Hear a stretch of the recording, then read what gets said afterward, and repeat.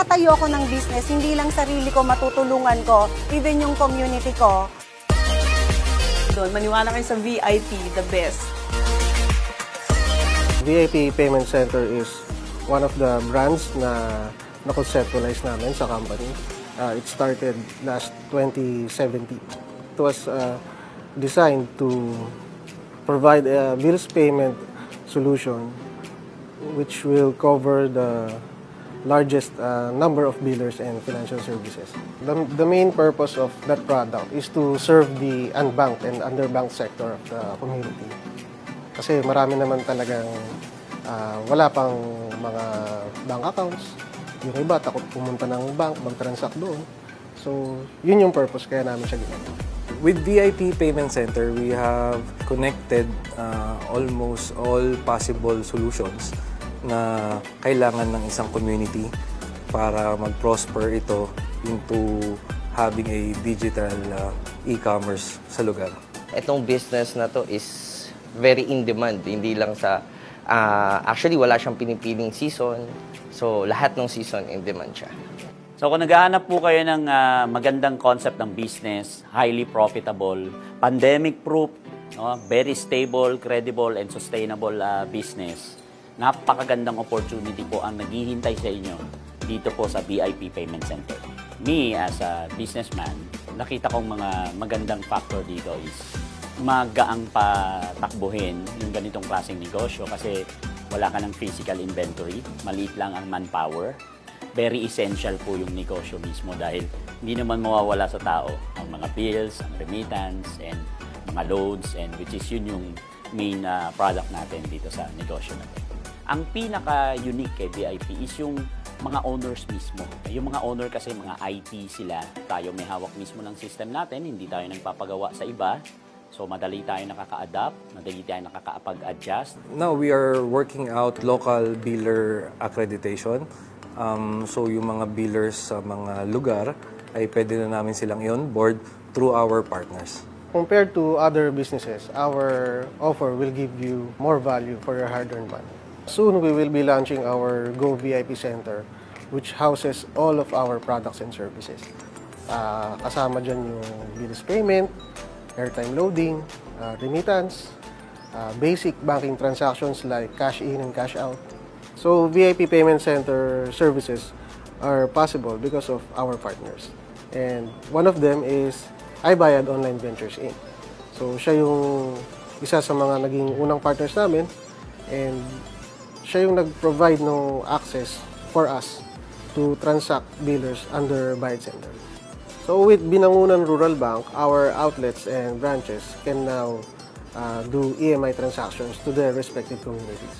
With Multisys Technologies Corp, mas in-empower niya yung existing bills payment platform namin by adding government billers. With the A5 Western Union uh, partnership, um, our branch are now um, ready to accept international and local remittance using Western Union's platform. The A5 also provides um, the AMLC, the BSP requirements uh, para maipasa agad ng mga uh, branch ng BIP Payment Center. We also have Ayana Business Solutions as one of our partners. Uh, with Electronic Commerce Payment Inc. or EasyPay, uh, mas nadagdagan yung coverage namin ng billers. So with NationLink, our branches can now do ATM withdrawals and soon accept uh, cash deposits to all PesoNet and InstaPay-enabled banks. So with Union Bank Philippines, our outlets can now accept Union Bank transactions like withdrawals and account openings. BPI Banco is also one of our partners. So our outlets can do BPI Banco transactions like withdrawals and deposits. Communicate Technologies Inc. is our smart airtime loading partner.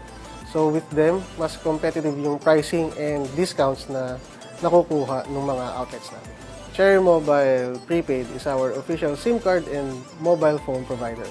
Soon, our branches will have the option to become a Cherry Mobile retailer.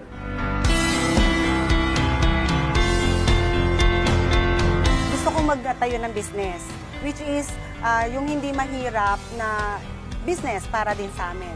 Through FB, nakita ko yung bills payment. So sabi ko, magandang business to since services ang ino-offer niya. Tapos, ah, nakakita ako, then chinat ko, minessage kung ano ba yung tungkol dito. Tapos, in-invite niya ako to- para pumunta sa office, which is sa Quezon City nga, sa Lemon Square uh, building sa along EDSA. Then, ah, na-meet ko yung agent ko. Then, after that, ah, meron silang ah, business presentation sa akin. Masyado akong na-convince na, ah, okay, hindi na ako lalabas, hindi na ako pupunta sa ibang lugar. Kung magtatayo ako ng business, hindi lang sarili ko matutulungan ko, even yung community ko na magbabayad sa amin, yun ang number one na nakapag-convince sa. That time, siyempre nasa pandemic ano tayo. So naghahanap kami ng ibang options for na mapagkakitaan because we are into garment business talaga. May nag-recommend na try yung VIP. So trinay namin, nag-ano kami kung paano. So nagtanong-tanong kami. So parang nakita namin yung mga features ni VIP. Nakita namin na mas maganda. para sa amin, ah, pwede nilang subukan. At lalo na kung add-on sa kanilang business para ma-maximize nila yung time nila at saka yung eh, space nila. Nung unti-unti na ano nila to, na-discover nila, ang dami.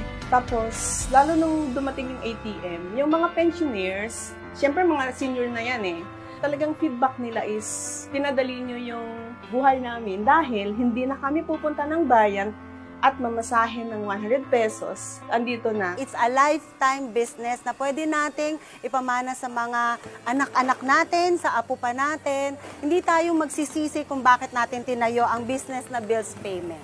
Doon sa mga gusto talagang mag-invest, lalo na kung nag-isip kayo ng payment center, huwag kayong magpapadala sa mga nasa Facebook na mga ganito is ang mura-mura. Huwag kayong maniwala doon. Maniwala kayo sa VIP, the best.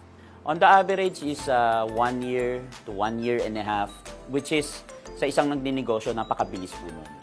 So, ganun yung return of investment natin. Culture naman ng uh, business na to is ang kita ng company ay uh, somehow uh, magpuproduce din is yung mga outlet natin. Kaya kailangan hindi lang basta alagaan yung outlet, dapat palakasin natin yung mga outlets natin. If you're an entrepreneur or an OF- OFW or uh, person that's looking for a business, uh, VIP Payment Center is a very good uh, option comparing to other businesses. Ang VIP will not uh, require you a lot of things to operate. No? So we provide you the solutions and uh, with that, uh, bukod sa profit na magigain mo, um, it's the community service that's more important. That's why the goal is to put up one VIP payment center per barangay para mas marami yung coverage ng communities na masiservisyohan natin. When you put up a VIP payment center, you're not just doing business. What you are actually doing is a community service. So, mas nilalapit mo yung mga essential services sa community mo.